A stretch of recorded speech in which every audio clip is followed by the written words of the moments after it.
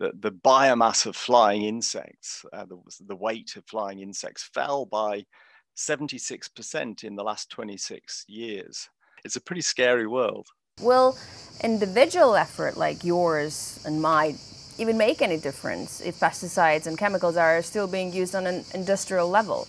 You know, how is it possible to give up this gigantic nature of our food production? I mean, especially in the context of constant population growth. We produce, I mean, very crudely, three times as much food as we need to feed everybody on the planet right now.